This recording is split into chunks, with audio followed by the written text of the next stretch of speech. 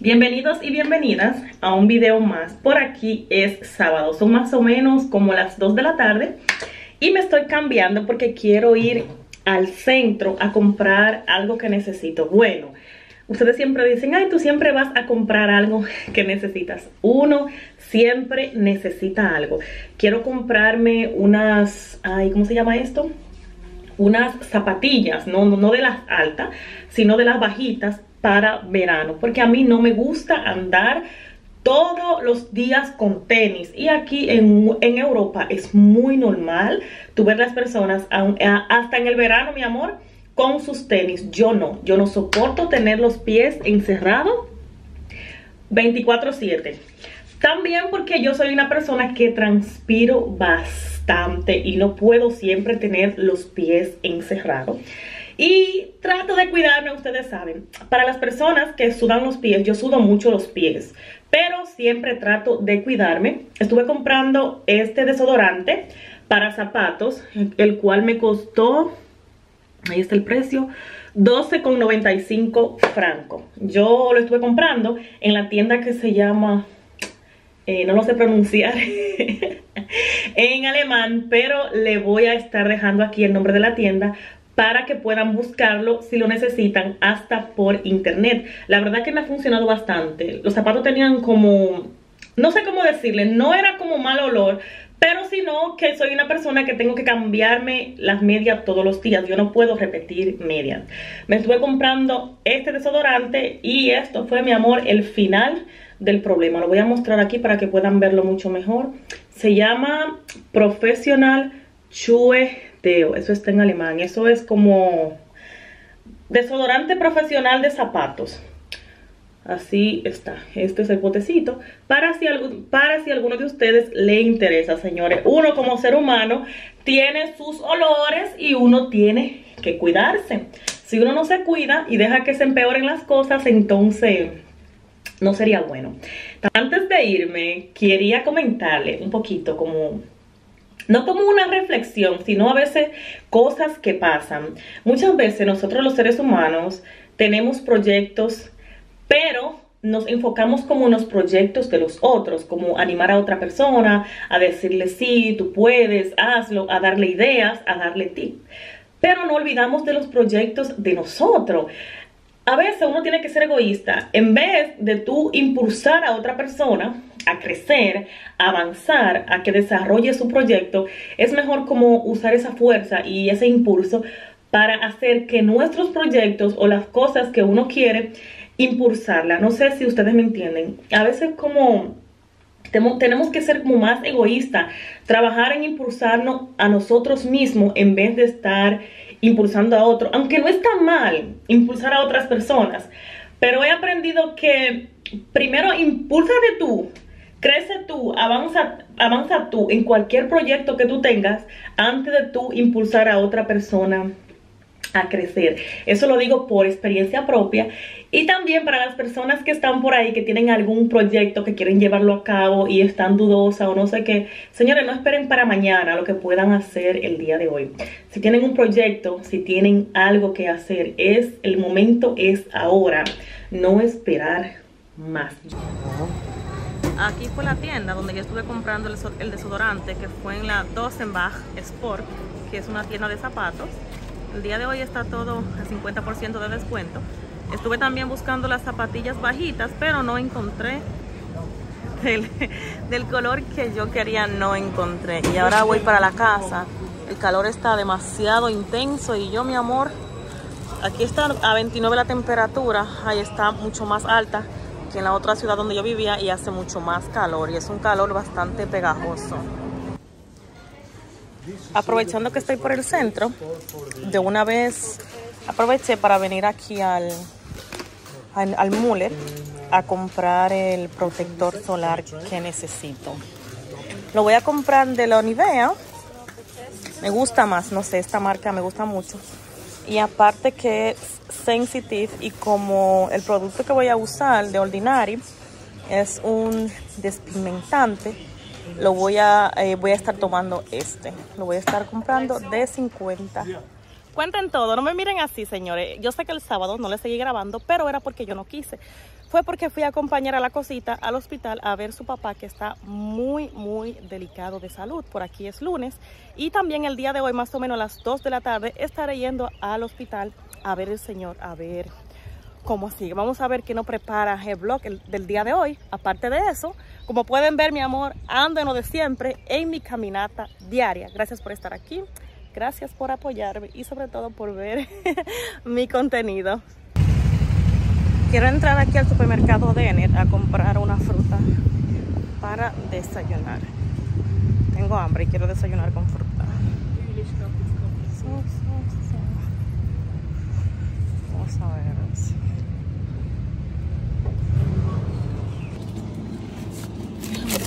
Este bien bueno.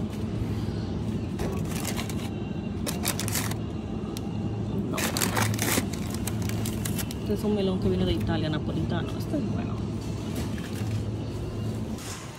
Estuve comprando este melón y estas fresas para desayunar. Ahora estoy en la fila aquí esperando para pagar.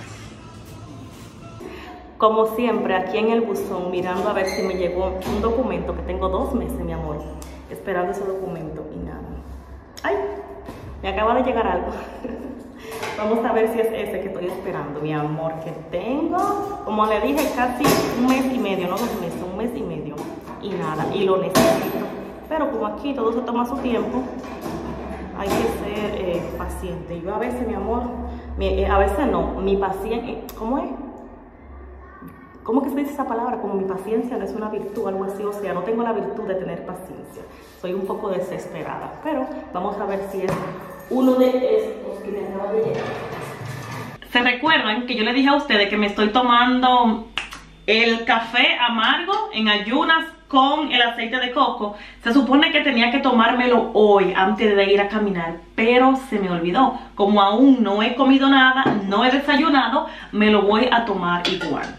Aquí ya tengo el café y le voy a estar agregando dos cucharadas de aceite de coco.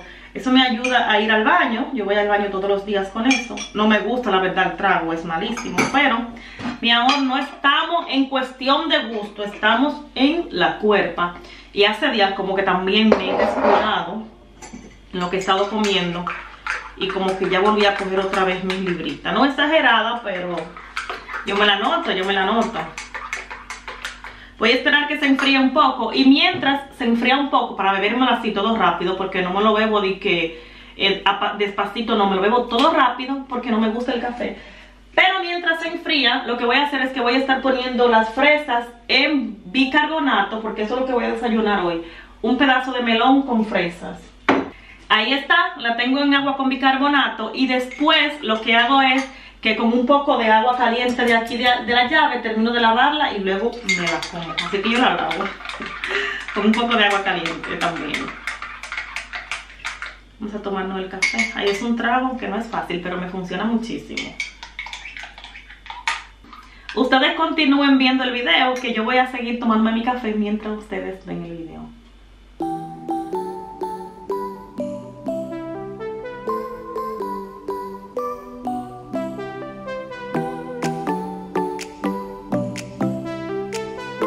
Ya estoy lista para irme al hospital, pero antes de irme quería comentarle que anoche empecé a usar el producto que le dije para las axilas. Hoy en la mañana seguí eh, todos los pasos como decía eh, las, chicas, las chicas que estuvieron haciendo la, mm, ay, ¿cómo se llama? La reseña. Hoy en la mañana me apliqué simplemente la crema humectante y el protector solar para ir a hacer los, ejercicios. No me puse desodorante, estuve dos horas caminando, sudé, pero no me dio mal olor. O sea que en esa parte de la reseña hasta ahora le estoy dando un 20 eh, de 10 al producto porque me funcionó en esa parte. Todavía no le puedo hablar de blanqueamiento porque es muy rápido. Pero sí, mi amor, sin tener que usar desodorante, hice mi rutina de ejercicio y nada de machete. y mismo, eh, lo mismo hice ahora, me bañé, me apliqué mi crema humectante, el protector solar y me voy para la calle sin, eh, sin desodorante. O sea, si no me dio mal olor haciendo ejercicio, tampoco me va a ir a dar mal olor pasando el día entero sin desodorante. Eh, ya me voy, porque no quiero que pase la hora de visita y quede que iba a ir exactamente a la hora que que dije y ya me voy para que no me coja lo tanto. Me pongo los zapatos y nos vamos.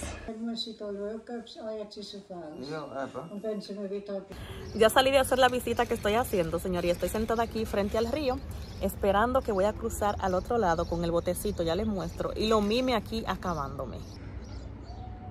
Y aquí estoy, como le dije, esperando que venga el bote de este lado, que cuesta un franco, porque en vez de irme a caminar así, por el puente, que está por allá, entonces lo que voy a pagar es un franco y voy a estar pasando al otro lado. Quiero ir a comprar una yuca para la comida de hoy. Quiero hacer yuca con, con cebolla frita, con un chin de vinagre y aceite. Bueno, con los mulos de pollo que dejé en la casa descongelando.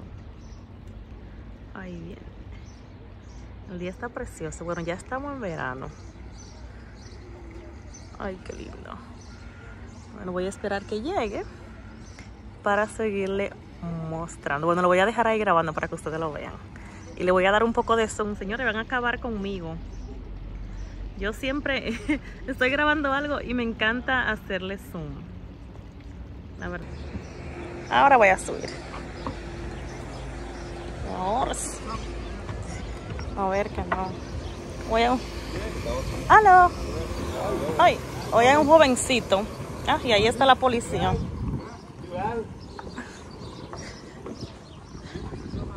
Ay, qué lugar más hermoso.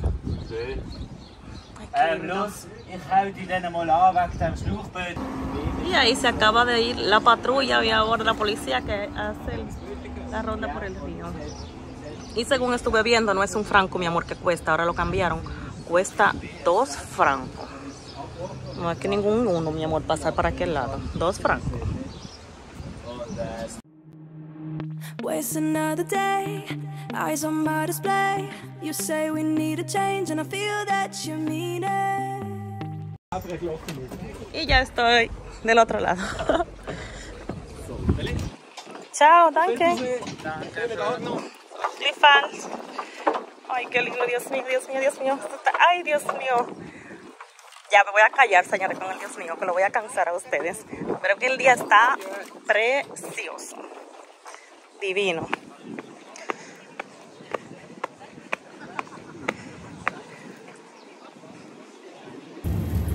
Vine aquí donde lo hindú a buscar una yuca y miren lo que me acabo de encontrar, este salami. Este es, sí, déjame ver. ¿De qué país que dice que es? Déjame buscarla en otro lugar. Déjame ver, no veo dónde dice de qué país es. Aquí en la descripción no se ve bien, pero dice que es salami eh, dominicano. Miren aquí, es salami quisqueya dominicano, súper especial. Ese la verdad no lo había visto, no me voy mi amor a atrever a comprarlo porque como en la descripción aquí se le ha borrado un poco, entonces el producto tiene mucho tiempo que se trajo, entonces no, no lo voy a comprar. Lo que voy a hacer es que voy a tomar, bueno, tomé una yuca de la que estaba allí, que luego se la voy a estar mostrando. Y esta es la yuca que estuve comprando. La venden así, ya pelada, me gusta mucho más que esa, porque esa que están aquí, dame ver, aquí no hay yuca el día de hoy, pero la que normalmente tienen así sin pelar, siempre salen dañadas, pero estas son bien buenas y ya vienen pelada, mi amor, que es, lo que es lo mejor. No me gusta pelar yuca. Yo ando donde quiera, señores. Vine aquí a ver si encontraba aguacates, pero están verdes. Así era, así era que lo quería, porque Carla la voy a ver mañana y le dije que le iba a llevar aguacate de estos cuando encontrara. Entonces lo que voy a hacer es que voy a estar comprando, déjame ver, este está dañado. Este, voy a estar comprando tres verdes, dos para ella y uno para mí. A ver, no están los precios. No, están, no son, estas son eso. No están los precios, pero me voy a estar llevando tres. Uno para mí y dos para Carla, que la voy a ver mañana. mientras puse la yuca a hervir y, el y los mulitos de pollo que me quiero comer, estoy aquí en el computador pasándole los clips que quiero editar para el blog del día de hoy, lunes. Y mientras estoy editando, me estoy acordando de una... Ay, ¿cómo le, cómo le llamaría? De algo que me pasó hace unos días cuando estuve editando el blog donde Carla nos estaba hablando de cómo llegó a Suiza entre una y otras cosas. Y yo me quedo mirando fijamente ese video y en un momento así me llega como un déjà vu, como que yo, como que yo había vivido ese momento antes, eh, escuchando esas mismas palabras que Carla me decía, pero sentada en el mismo lugar y haciendo la misma cosa que era editando eh, esa parte del video. Señores, todo en la vida está escrito. Yo no, no creía en eso. Pero ahora sí creo que cuando uno nace, uno nace ya con un destino trazado. Cada vez que uno comete un error, cada vez que uno hace algo o toma ciertas decisiones en la vida, estaba escrito. A veces uno dice, ay, si pudiera volver el tiempo atrás y cambiarlo, no se puede porque cada una de las cosas que uno ha hecho, decisiones o cosas que le han pasado, todo estaba escrito. Y yo me recuerdo que en ese momento yo llamé a Mariam y no, no, la llamé, le puse un mensaje porque se me enchinó la piel y me puse a llorar. También le escribí a Carla. Porque ya yo había vivido ese momento exacta mismo. Era como, ay, yo no sé ni cómo yo no sé, eso, eso es una cosa que no se puede explicar. Cuando tú tienes un déjà vu, exactamente tú no puedes explicarlo, pero tú, ay, tú sientes como si ya tú habías vivido eso antes o si tú habías estado en ese lugar anteriormente o si tú habías hecho esa cosa anteriormente. Entonces, simplemente quería compartirle eso, señores. Todo lo que nos pasa en la vida está escrito y en mi vida ya estaba escrito que yo iba a vivir en esta ciudad, que yo iba a conocer a Carla y que Carla me iba, em, no iba a estar contando eso en, en un pequeño video para mi canal. Yo me quedé así como que wow, no la había compartido con nadie, simplemente con Marian y Carla y con ustedes ahora en el video. Y hoy en la mañana que lo posteé eso en Instagram, esa, eso de ya me han pasado a mí ya tres veces en mi vida me ha pasado eso. Es un poco curioso, señores, desde que uno nace tiene el destino, señores, trazado. Por más que uno brinque, por más que uno sarte, uno siempre nace con su destino trazado. Algo que le quería comentar también es que el día de hoy que fui al hospital, señores, cuando algo está para uno, ni aunque uno se quite. Hace como unos tres o cuatro meses que yo ando detrás de algo y para eso necesito cierta información y, y ciertas cosas. Hoy, cuando fui al hospital, me encontré con una persona así como... Era una señora que estaba allá, ella ni me conoce ni yo la conozco. Y ella saludó en alemán. A mí me dio la impresión de que ella hablaba como, como español. Ella estaba eh, haciendo un trabajo allá en el hospital y después de un rato yo le pregunto que de qué país ella es. Ella me dice que era eh, brasileña. ella me pregunta a mí de qué país yo soy, yo le digo que yo soy dominicana y empezamos a hablar automáticamente. Ella me dijo que le gusta mucho la cultura dominicana, que tiene amigos dominicanos, que se lleva muy bien eh, con los dominicanos, que tiene vecinos dominicanos. Entonces yo ahí aproveché para hacerle una pregunta que quería hacerle porque yo sé que ella es la persona que me, que me, que me, que me podría ayudar en eso que yo necesito, pero para eso necesito un contacto. Bueno, ahí estuvimos hablando, yo le pregunté eh, ciertas cosas, eh, de ciertas informaciones que yo necesito, que ahora no le puedo compartir a ustedes. Y de una vez ella amablemente abrió su teléfono y me pasó un número y me dijo llama aquí, haz esto, di esto y ahí te van a ayudar con lo que tú necesitas, señores. Em, ¿Cómo le digo? A veces para... Tienen que pasar cosas malas para que tú puedas obtener eh, una cosa buena. No sé, no quiero como... Yo tengo la palabra como decirla, pero si la digo, mucha gente la van a malinterpretar y piensan que me estoy alegrando.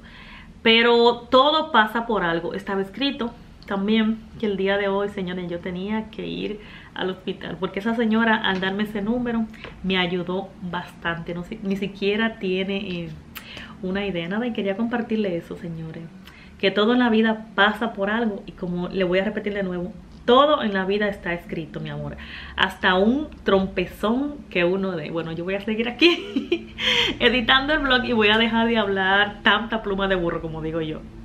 Aquí está lo que voy a estar comiendo el día de hoy, que como pueden ver son dos mulitos de pollo al horno con yuca. Para las personas que no saben lo que es yuca, es un víver dominicano con un poco de cebolla. Ay, me encanta.